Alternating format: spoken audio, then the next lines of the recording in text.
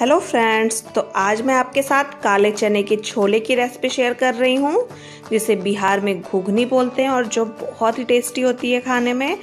तो वीडियो अगर अच्छा लगे, यूजफुल लगे तो चैनल को सब्सक्राइब, लाइक, शेयर और कमेंट ज़रूर करें। और हाँ फ्रेंड्स, सब्सक्राइब करने के बाद बेल आइकॉन पे क्लिक करके ऑल को भी क्लिक कर दें, ताकि मेरे सभी वीडियो का नोटिफिकेशन आप तक पहुँच सके। तो चलिए बनाते हैं हम बिहारी फ़ेमस घुघनी। तो घुगनी बनाने के लिए मैंने लिया है यहाँ पे 200 ग्राम काला चना, जिसे मैंने भिगो दिया है पानी में रात में। आप पाँच छः घंटे पहले भी इसे भिगोने डाल सकते हैं। तो देखिए, ये फूल कर बिल्कुल डबल हो जाते हैं। यहाँ पे मैंने कुकर रख दिया है गैस पे गर्म होने के लिए, क्योंकि डायरेक्ट हम इसे कुकर में ही भून लेंगे और फिर सीटी लगवा लेंगे। तो मैंने यहाँ पे ऐड कर दिया है दो बड़े चम्मच सरसों का तेल। तेल गर्म होने के बाद एक छोटा चम्मच जीरा और जीरा चटकने के बाद थोड़ा सा मैंने हींग डाल दिया है और ये दो तेज पत्ता और एक हरी मिर्च। और इन सब चीज़ों को हम भून लेंगे थोड़ा सा कुछ सेकंड के लिए। और इसके बाद ये मैंने लिया है एक आलू। आप चाहें तो इसे स्किप भी कर सकते हैं, नहीं भी डालें। बट थोड़ा सा काले चने, अगर आप आलू ना डालें तो थोड़े फरहरे से बनते हैं और इससे ग्रेवी थोड़ी लटपटी सी हो जाती है आलू के कारण। तो अगर आप आलू खाना पसंद करते हैं तो एक आलू ज़रूर डालें। फिर मैंने ऐड कर दिया है एक बड़ा प्याज। पतले पतले स्लाइसेस में कटे हुए, इन सभी चीज़ों को हमें भून लेना है। गोल्डन ब्राउन होने तक।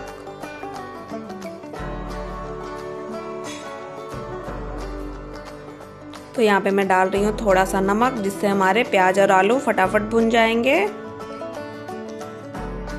और बहुत ही लाजवाब सब्ज़ी बनती है फ्रेंड्स बहुत ही टेस्टी छोले बनते हैं ये. काले चने के और बहुत फ़ायदेमंद भी होते हैं.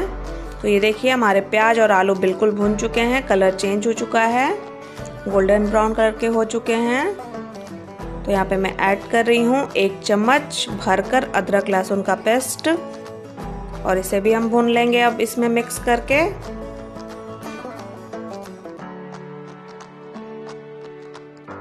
और ये अदरक लहसुन का पेस्ट अब भुन चुका है। तो मैं यहाँ पे ऐड कर रही हूँ दो टमाटर दो मध्यम आकार के टमाटर जिसे मैंने काट लिया है रफली चॉप कर लिया है और थोड़ा सा नमक जिससे हमारे टमाटर फटाफट गल जाएँगे। और इसी के साथ कुछ मसाले एक छोटा चम्मच धनिया पाउडर एक छोटा चम्मच लाल मिर्च पाउडर और ये जाएगा आधा चम्मच काली मिर्च पाउडर और ये आधा छोटा चम्मच हल्दी पाउडर। और बस इन मसालों को हमें भून लेना है।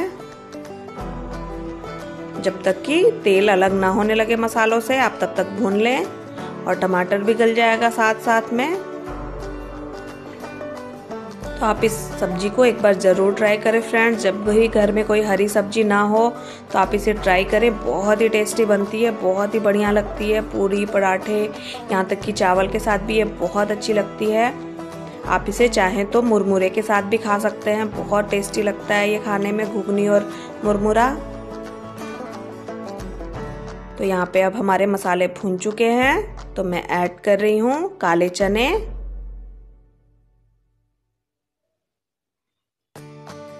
और चनों को भी हम अच्छी तरह भून लेंगे दो से तीन मिनट के लिए। फ्लेम को मैंने मीडियम ही रखा है, क्योंकि नहीं तो मसाले तली में लगने लगते हैं। तो यहाँ पे मैं ऐड कर रही हूँ स्वाद अनुसार नमक, जितनी मुझे ग्रेवी रखनी है उस हिसाब से और ध्यान रहे कि पहले भी हमने प्याज और टमाटर के साथ थोड़ा थोड़ा नमक डाला था तो आप हिसाब से ही नमक डालें। और नमक डालकर अच्छी तरह मैं मिक्स कर लूँगी और इसे एक से दो मिनट तक भून लूँगी। बहुत ज़्यादा देर तक हमें चनों को नहीं भुनना है, बस थोड़ा सा ही भुनना है। तो ये हमारे चने भुन चुके हैं, मैं इसमें ऐड कर रही हूँ पानी।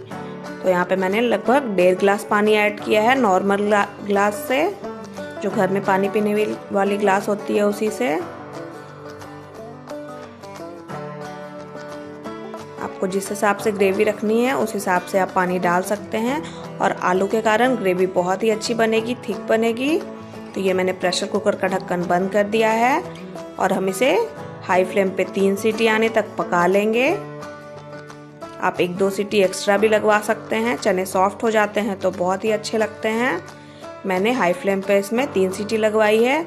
तो ये देखिए, बहुत ही बढ़िया कलर आया है। तो यहाँ पे मैंने ऐड कर दिया है एक छोटा चम्मच गरम मसाला पाउडर आप गरम मसाला लास्ट में ही डालें, उससे बहुत ही अच्छी खुशबू बरकरार रहती है चने में, चने की सब्ज़ी में। और इसे अच्छी तरह मिक्स कर लेंगे। जिससे आलू थोड़े मैश हो जाएँ और ग्रेवी थोड़ी गाढ़ी हो जाए। नहीं तो चने अलग अलग से और ग्रेवी अलग अलग सी लगती है तो फिर अच्छे नहीं लगते हैं ये।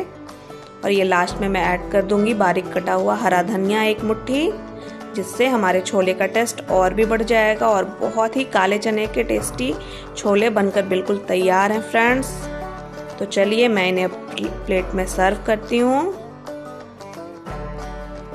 और बहुत ही बढ़िया लगते हैं ये चावल, रोटी, पराठे, पूड़ी और मुरमुरे के साथ। आप ज़रूर ट्राई कीजिए इसे एक बार मुरमुरे के साथ।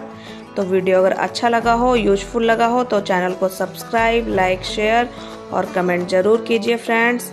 और हाँ इसके ऊपर मैंने डाला है थोड़ा सा चाट मसाला, जिसके साथ ये और भी टेस्टी लगता है। और थोड़े से हरे धनिए से इसे गार्निश कर दिया है। तो मिलते हैं हम नेक्स्ट रेसिपी के साथ। Bye bye. Thank you for watching.